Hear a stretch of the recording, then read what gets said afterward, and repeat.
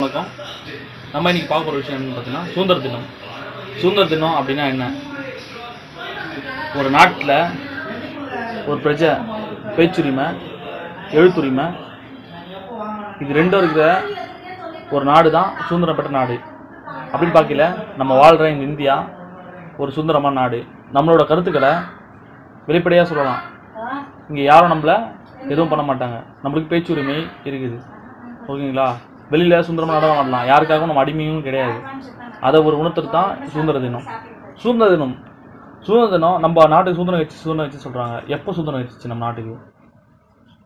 இந்த இந்தியாவில் பிரிட்டிஷ் படையெல்லாம் எடுத்துகிட்டு வரல. டச்சுக்காரர்கள் போர்ச்சுகீசியர்கள் இவங்க யாருமே படம் எடுத்துகிட்டு வரல. எல்லாரும் வணிகம் பண்ணிட்டு வந்தாங்க. இங்கே என்ன ஸ்பெஷலிட்டி எல்லா நாட்டுக்கும் ஒரு ஸ்பெஷலிட்டி நம்ம ஊரில் பார்த்தீங்கன்னா என்ன ஸ்பெஷாலிட்டி பார்த்தீங்கன்னா இந்த வாசனை பொருட்கள் அப்புறம் பார்த்தீங்கன்னா இந்த கிராம்பு மசாலா பொருட்கள் இதெல்லாம் வந்து ரொம்ப ஃபேமஸ் நம்ம ஏரியாவில் அதுக்கப்புறம் பார்த்தீங்கன்னா மரகதம் கோமேதகம் இதெல்லாம் கேள்வி தான் பட்டுப்பீங்க நானும் பார்த்ததில்ல நான் புக்கில் படிச்சுட்டு இதெல்லாம். தான் இதெல்லாம் வந்து ரொம்ப ஃபேமஸ் இந்த முக்கியமாக அவங்க தேடி வந்து பார்த்தீங்கன்னா இந்த சுருள்பட்டை இதெல்லாம் தான் தேடி வந்தாங்க.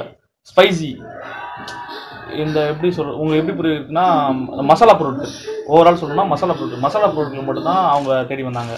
ஆனால் இங்கே வந்து இந்த நாட்டோட நிலைமையை பார்க்குறப்ப இந்த நாட்டை நம்ம அடிமையாக்கலாம் ஈஸியா?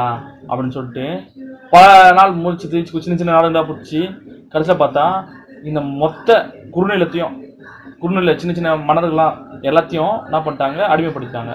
இந்தியான்றது பார்த்தீங்கன்னா ஒரு கண்ட்ரி கிடையாது. பல தேசிய இனங்களை உள்ளடக்கிய ஒரு இடம்.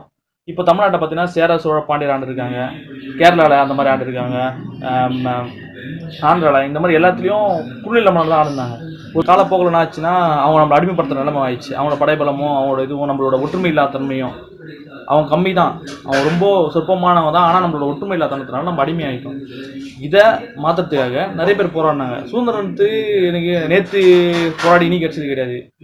நம்ம ஜல்லிக்கட்டு போகிறோம் நம்ம ஏழு நாள் எட்டு நாள். அப்படி போராடி கிடைக்கிறதுலாம் கிடையாது. இது பல ஆண்டுகளாக போராடினாங்க. விடாம போன பல உயிர்கள் தியாகம் பண்ணாங்க. நம்ம இன்னைக்கு தேசிய கொடி எரிச்சிடுறோம் தேசிய கொடிக்கு அவமதியாக பண்ணோம். அதெல்லாம் தப்பு. ஏன்னா இது ஒருத்தர் சம்மந்தப்பட்ட விஷயம் கிடையாது. சுதந்திரம் எடுத்து ஒருத்தர் சம்மந்தப்பட்ட விஷயமே கிடையாது. நம்ம தாத்தா ரெட்டமலை சீனிவாசன் மருதநாயகம் மருது பாண்டியர் குயிலி வேலு நாச்சியார் வடக்கில் சொல்லப்போனால் ஜான்சி ராணி இந்த மாதிரி நிறைய பேர் போராடி பெற்றது தான் நம்ம சுதந்திரம். இது நம்ம வந்து இன்றைக்கி ஈஸியாக அவமதிச்சிடும் நம்ம பிளாக் டிபி வச்சு இல்லை தேசிய கொடி அவமதி பண்ணுறோன்னு சொல்லிட்டு தேசிய கொடி குத்தாம இப்படிலாம் பண்ணுறது ரொம்ப தப்பான விஷயம். நம்மளுக்கான கடமை. நம்ம தேசிய கொடி மரியாதை கொடுத்தாகணும் ஏன்னா இது நம்ம முன்னோர்கள் பாடுபட்டுருங்க செக்கு மாடு இழுத்துக்கே திணறும் செக்கை. ஒரு செக்கு பார்த்தீங்கன்னா ஒரு மாடு இழுக்கவே முடியாது. ஆனால் நம்மளோட பாட்டை வாவு சிதம்பரனாரு அஹ், செக்கை வந்து இழுத்துருக்காரு. மாடே இழுக்கிறதுக்கு திணறும் அந்த செக்கை. ஆனால் நம்ம தாத்தா அவ்வளோ தியாகம். நம்ம சுந்தரத்து மேலே அவ்வளோ ஒரு தாகம். இந்த இந்திய நாட்டை தமிழர்களை தவிர வேறு யாரும் அந்தளவுக்கு நேசிச்சாங்க தெரியல. அவ்வளோ அன்பு கொண்டு நேசிச்சுங்க ஓகேங்களா நம்ம தாத்தாங்க பட்ட கஷ்டம் தான் நீ நம்ம சுந்தரமாக கையில் வச்சுட்டு இருக்கோம். இந்த கொடி காத்த குமரன்லாம் தான் சாகிற வரலும் அந்த கொடியை பிடிச்சினே தான் செத்தாரு.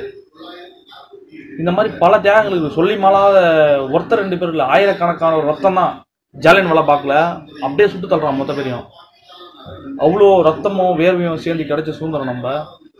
நம்மளோட மெத்தனத்தால் நம்ம ஆட்சி அதிகார ஆட்சியாளர்களை கேள்வி கேட்காதனால இன்னைக்கு இப்படி இருக்குது அதுக்கு காரணம் வந்து நம்ம கொடியோ இல்லை நம்ம முன்னோர்களோ கிடையாது.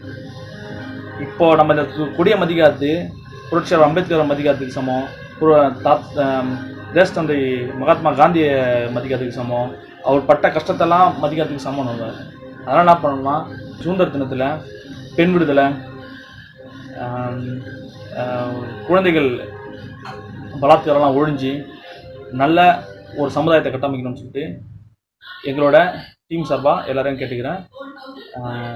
லைக் பண்ணுங்கள் ஷேர் பண்ணுங்கள் சப்ஸ்கிரைப் பண்ணுங்கள் பாய்